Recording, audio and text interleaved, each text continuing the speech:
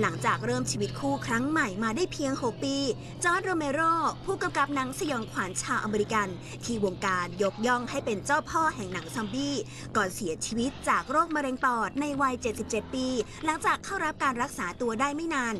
โดยตัวแทนเผยว่าผู้กำกับใหญ่จากไปอย่างสงบ ระหว่างฟังเพลงซาวแทร็กหนังเรื่องโปรดบนเตียงนอน โดยมีภรรยาและลูกๆ คอยดูใจเป็นครั้งสุดท้าย คนดังของวงการทั้งผู้กำกับแซ็กสไนเดอร์ เจมส์กันน์ และนักประพันธ์สตีเฟนคิง ต่างร่วมไว้อาลัยอย่างทั่วหน้า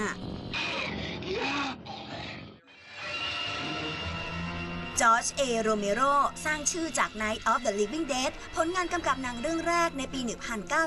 1968 โดยใช้ทุนสร้างเพียงแสนกว่าเหรียญ ถ่ายทำกันเองในหมู่เพื่อนฝูงช่วงสุดสัปดาห์ การเป็นหนังอิสระที่ไม่ขึ้นตรงกับบริษัทภาพยนตร์ทำให้โรเมโรมีอิสระในการถ่ายทอดความสยดสยองอย่างเต็มที่ ซึ่งขณะนั้นสหรัฐยังไม่มีข้อกำหนดเรื่องการป้องกันเยาวชนจากการดูหนังเนื้อหารุนแรง ความโหดเหี้ยมในภาพยนตร์ จึงถูกวิจารณ์ในเวลานั้นอย่างมากรวมถึงการนำนักแสดงผิวสีชาวแอฟริกัน มาแสดงเป็นพระเอกหนังสยองขวัญเป็นครั้งแรก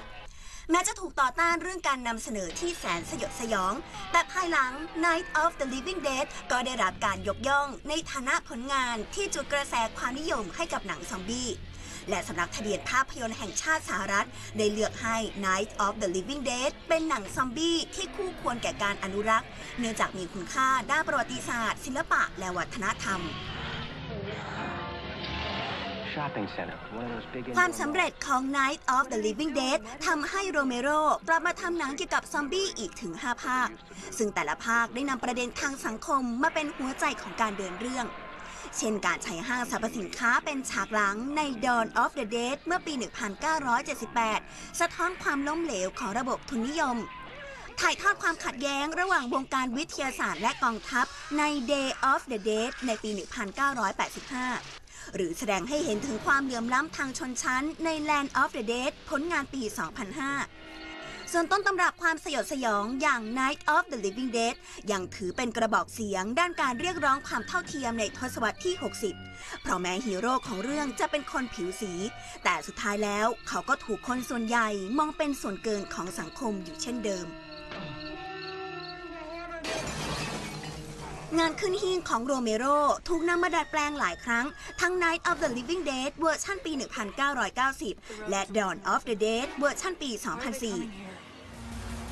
แต่สิ่งที่หนังและละครซอมบี้ยุคใหม่แตกต่างไป คือการพัฒนาความน่ากลัวของอมนุษย์ แต่ไรซึ่งการสอดแทรกประเด็นทางสังคม อย่างที่โรเมโรเคยสร้างไว้เป็นแบบอย่างของวงการ